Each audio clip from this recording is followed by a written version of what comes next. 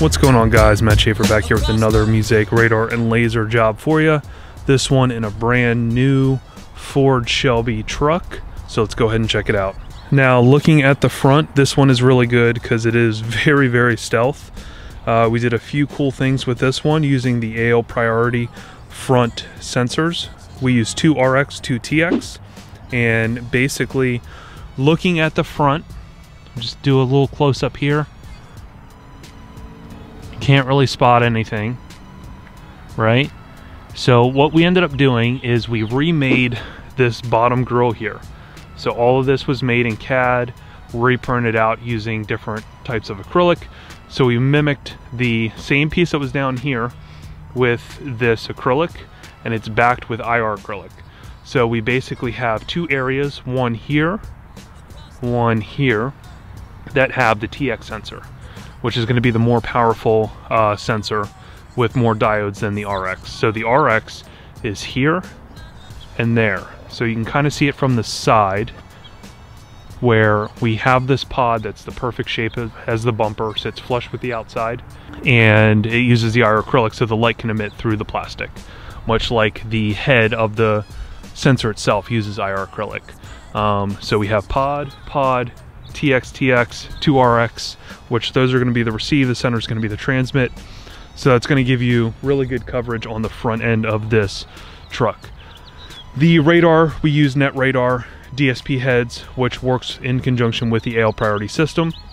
That radar head is right here behind the bumper. As far as the rear goes, uh, in this case, we made our license plate that is a little bit different, made to work with the truck.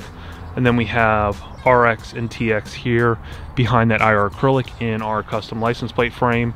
So again, looks like a typical frame. You have your license plate in there, uh, completely sleek. And uh, yeah, you're never really gonna know anything is in the rear as well. It's the best way to tackle a truck when using two sensors for the rear, the one RX and TX in the frame. Also, we have the Net Radar DSP sensor, which is also, the rear one is behind the bumper. As far as the inside goes, we went more simplistic. Maybe you can see it there. We just made a little pod there for the ALP controller and that's where he's going to utilize the command center for the radar and laser system. Also, you can utilize the AL Priority app on the phone itself. So basically turning it on, we can connect the phone and then all of a sudden we have our phone and then the phone can become the main screen for what's actually happening. Uh, we can also update specifically from the from the app itself, which makes everything easy to update. Uh, the firmware updates are to update the sensors and you know kind of change the algorithms if uh, other guns get updated, which cops would shoot with. Uh, if those firmware, if the firmware updates on the guns that are used, obviously AL Priority can counteract that through updating on their app. So really cool and uh, a nice way to see exactly what's going on without physically having to install a display somewhere else in the vehicle. The modern radar and laser systems work a lot different than they did back in the day, like I just mentioned with the firmware updates they're going to stay up to date. They're not going to false like the other ones do. You know, the ones that I'm talking about are in the mid 2000s when they used to go off all the time, especially as more modern cars with collision avoidance, adaptive cruise control all hit the market.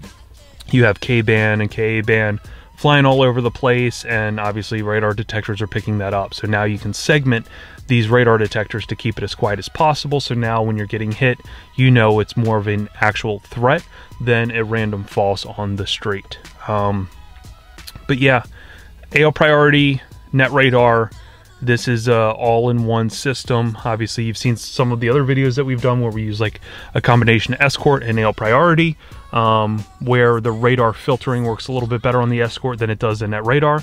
But in this case, we did the all-in-one to keep it under the umbrella of one system, also a little bit more cost-effective. So thank you guys again for watching the video. If this is your first video that you're seeing, we do a ton of other radar and laser jobs, integration jobs just like this one. Go check those out to see how we've attacked other vehicles. And also our niche is really in audio, sound quality, integration, all that kind of stuff. So go ahead and check out those audio builds. And a lot of times we're doing audio, radar, and laser all in one job. So make sure you subscribe and hit that alert bell to notify you anytime we drop a new video. If you're interested in getting a job done by us, here's my email address followed by my phone number. These are the two best points of contact. Also, check out our website, musaicdesign.com. This is a one stop shop to see all the jobs that we've done, the build log, the videos. We have a radar tab on there that you can see all the jobs that we've done. Very easy to navigate and see all the information regarding the different vehicles that we've done and what's possible. So go ahead and check that out. Also, you can follow me on TikTok. I do a lot of in progress build videos, uh, shorter walkthrough videos. So if you don't have the time for YouTube, check out the TikTok um, where you can get the information in a much smaller sample size. Also, Instagram, here's our three handles. At the real Matty S is the one that I use most frequent. That is my personal one. And like always, guys, I appreciate the feedback. Thanks for watching the video, and I'll see you next time.